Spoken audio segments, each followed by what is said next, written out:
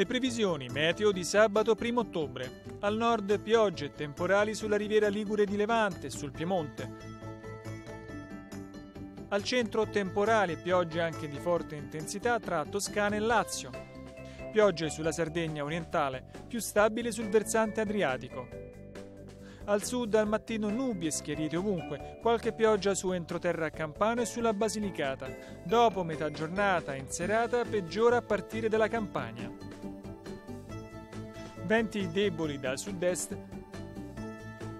mari poco mossi, temperature in leggero calo.